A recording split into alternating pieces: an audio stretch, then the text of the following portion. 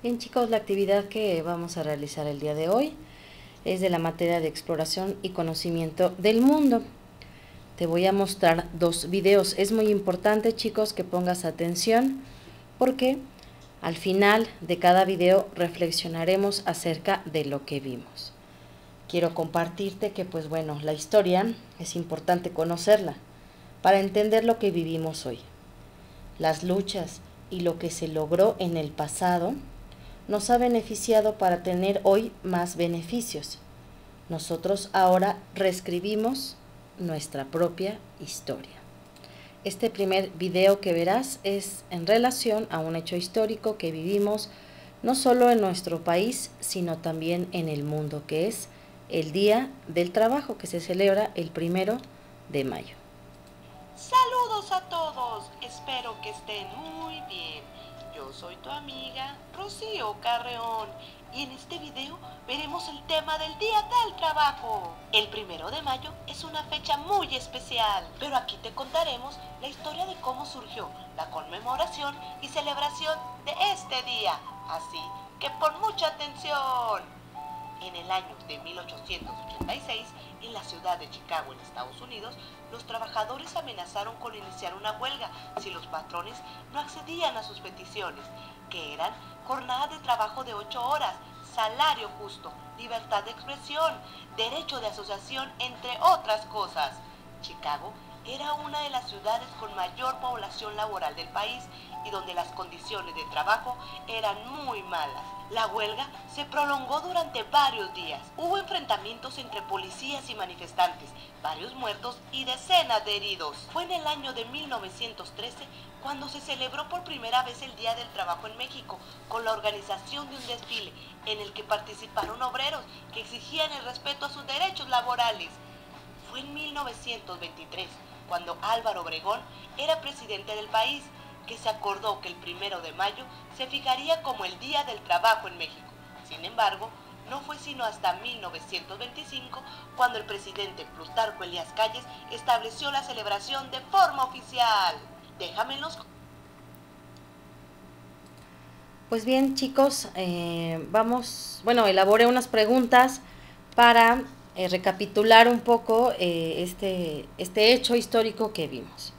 Y bueno, la primera pregunta sería, ¿de qué hecho importante trató lo que vimos? ¿Lo recuerdan chicos? Les doy unos segundos. Pues bueno, trató del Día del Trabajo. ¿Qué injusticias vivían los trabajadores? ¿Lo recuerdas? Pues bueno, en, ese momento eh, trabajaban jornadas largas, no había un horario, chicos, o sea, ellos trabajaban y, pues bueno, era desgastante y cansado para, para estos obreros. Era un salario injusto, porque a pesar de que trabajaban mucho no se les pagaba lo justo. Y había represión, no podían expresar pues que algo no les gustara, que en algo no estuvieran de acuerdo. Era una situación muy muy difícil, no como ahora, ¿no? Que podemos expresar si algo no nos gusta, esa es libre expresión. ¿En qué ciudad comenzó la huelga? ¿Lo recuerdas? Pues bueno, empezó en la ciudad de Chicago en 1886 en Estados Unidos. Este movimiento comenzó ahí. ¿En qué año comenzó la celebración del Día del Trabajo, pero ahora en México? Comenzó en 1913. ¿En qué año fue oficial en México y qué presidente lo hizo oficial? Pues bueno, fue hasta 1925 con el presidente Plutarco Elías Calles que el Día del Trabajo, el primero de mayo, fue oficial. Muy bien chicos, ahora te voy a mostrar el video de otro hecho importante de la batalla de Puebla, pero este se celebra el 5 de mayo. Al terminar el video, igual vamos a reflexionar acerca de esto que tuviste. Saludos a todos, espero que estén muy bien. Yo soy tu amiga Rocío Carreón y en este video veremos la historia de la batalla de Puebla. En México, el día 5 de mayo se conmemora el Día de la Batalla de Puebla y aquí te contaremos la historia, así que pon mucha atención.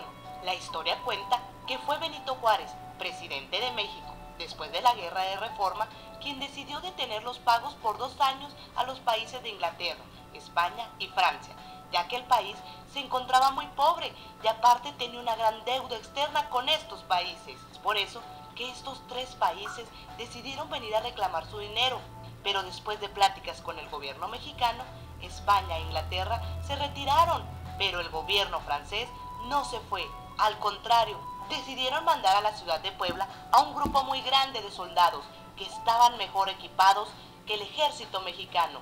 Pero Benito Juárez, sabiendo su desventaja, convocó a todo el pueblo mexicano a que lucharan, reuniendo a más de 4.000 hombres.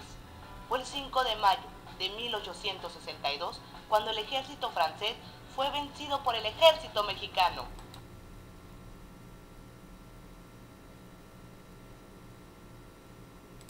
Pues bien chicos, de la misma manera que hicimos con el Día del Trabajo, ahora lo vamos a hacer con esta, este hecho que te mostré del día de la batalla de Puebla. Y bueno, ¿qué hecho histórico trató lo que vimos? La batalla de Puebla. ¿Qué presidente de México decidió ya no pagar la deuda que tenía el país? El país acababa de pasar por una situación difícil económica y entonces pidió un préstamo a ciertos países, pero como estaba tan difícil la situación, pues decidió dejar de pagar lo que se debía. Y los y bueno, el presidente que fue fue Benito Juárez. Ahora, ¿a qué países México les debía? ¿Lo recuerdas? Pues bueno, fue a Francia, Inglaterra y a España. Pero sucedió algo, alguno de ellos no estuvo de acuerdo. ¿Qué país no fue? Pues Francia. Y entonces Francia decide invadir México. ¿En qué ciudad de México sucede esta invasión? ¿Lo recuerdas? Pues bueno, sucede en la ciudad de Puebla. ¿En qué año vence México a Francia? Bueno, lo vence el 5 de mayo de 1862. Por eso se conmemora esta fecha como un hecho muy importante, porque es cuando México vence a Francia. Ahora, en la actividad de exploración, al término de tu materia en tu libro de AMCO, vas a poner la fecha en una de las hojas que tienes ahí rayadas y la actividad es que vas a realizar dos oraciones en relación a lo que sucedió, a lo que recuerdas, a lo que comentamos del Día del Trabajo y la Batalla de Puebla. Yo te puse aquí un ejemplo. Una oración sería, el Día del Trabajo se celebra el primero de mayo. Y en relación al hecho de la Batalla de Puebla, bueno, sería, México tenía una deuda con los países de Francia, España e Inglaterra. Espero que estos ejemplos te ayuden a ti para que tú puedas elaborar dos horas.